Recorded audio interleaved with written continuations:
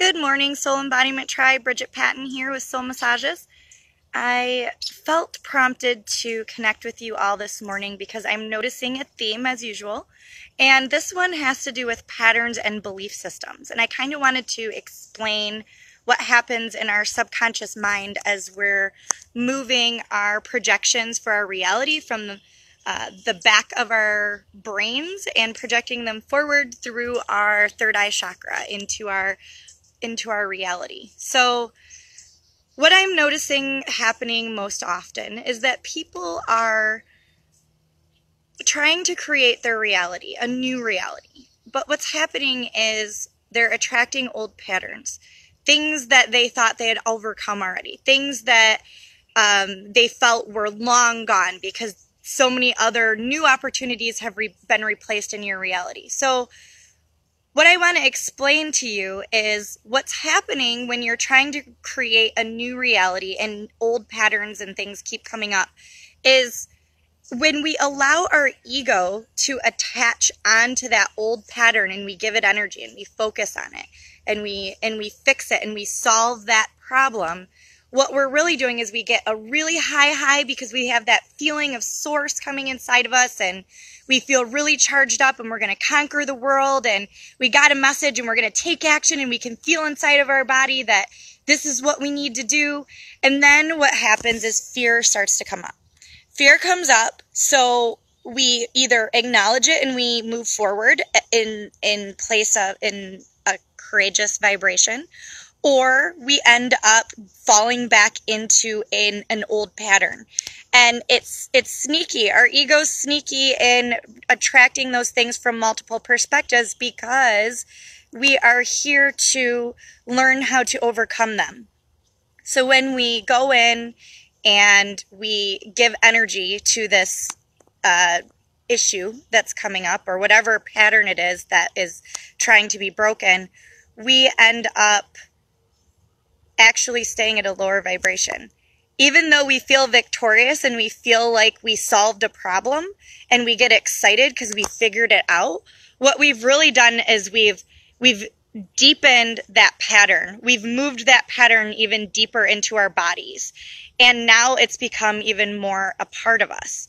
So then when that next beam of light comes in, that next download from source comes in, now we think we're moving forward but really we're still in the same reality. We're we're moving through the same patterns and the same loops. We go up really high and then we go down into that low space so that we can conquer something and we can feel victorious again.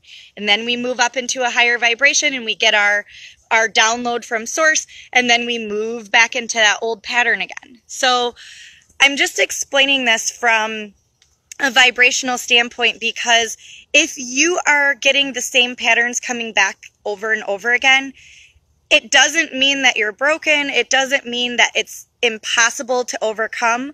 What you are feeling inside of your body as a possibility and as an inkling of what could be is true.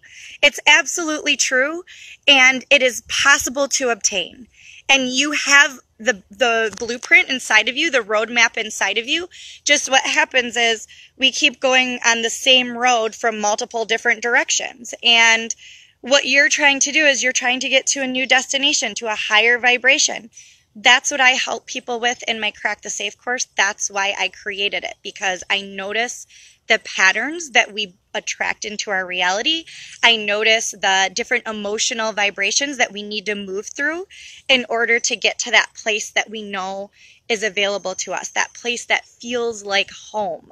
And that is not in another person, it's not in another situation, it's not in another experience, it's inside of you. And the best way to get there the fastest way to get there is to latch on to another energy vibration and make it your own. So we have this ability inside of us to transmute energy, meaning we can feel a sensation or an emotion and we can bring it into our bodies and we can transmute it into our own understanding and we can process it so that it applies to us in our reality without getting sucked into somebody else's story. And this is where I notice a lot of people um, getting into those old patterns again because they're they become codependent on another human being or an experience or a, um, a situation. And what, what that does is it creates anchors in your old reality. And I'm here to teach you guys how to create those new patterns for your new reality because we have to know how to anchor into that time and space. If we don't know how to anchor into that time and space, those old patterns are going to keep coming back up for us. And it's because it's just, it's a way for us to stay in this safe space, this space that's known to us. Because if we know how to conquer that problem over and over again, that gives the ego a sense of security and peace and well being, and that this is um, something that's comfortable because you're attacking this problem, this essential, this illusionary problem from different emotional standpoints. And yes, it does create a pattern. And yes, it does build strength. But my question to you is, is it building your spiritual muscle? And I want to explain what a spiritual muscle is for a second. A spiritual muscle is having ownership and responsibility without excuses of what's being created in your reality. And if you are not taking responsibility, your ability to respond to these energy vibrations that are coming in, these emotions that you're feeling, if you aren't able to um, take those and transmute them so that you can create what you desire, then there's a break in the energy field. There's a break in the efficient energy flow process inside of your body. That means it's coming in here and it's getting stuck and it's resisting. And I don't really like using the word stuck because I don't believe in that, but depending on where you're at, at, along in your journey, it may feel like a block. It may feel like I'm stuck. But really, what it is, is you're fighting a part of yourself inside and you're resisting becoming authentic for some reason. There's a belief system in there. Uh, somebody else that you matched vibrations with that was a mentor along your way. It could be your parent, it could be a teacher. And what ends up happening is we start mimicking that pattern of energy. And because we don't know how to create that next highest level, the best thing you can do, what I was getting ready to say, is get into that energy vibration with somebody that resonates at that next highest level. If you are feeling it and it's resonating and it feels good inside of you, it isn't to trick you. It isn't to show you something and then take it away. Hello, good morning, you guys. It's there as an inspirational piece. It's there so that you can receive that biofeedback and learn how to mirror for yourself that energy. And when you're feeling that from somebody, that is how we that's how we learn. We're we're really just children in adult bodies and the same concepts apply. So if you if you watch children they suck your energy dry because they don't know how to create the energy on their own. And as adults, we tend to get into that same pattern. We we get energy from things externally rather than learning how to draw from it from within.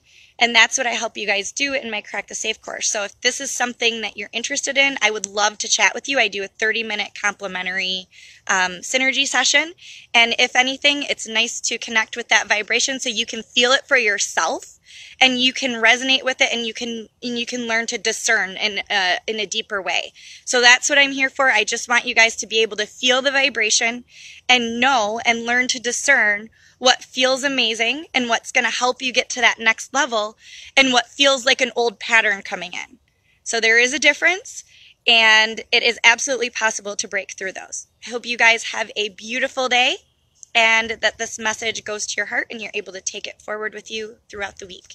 Have a beautiful day, and I will see you in the next video.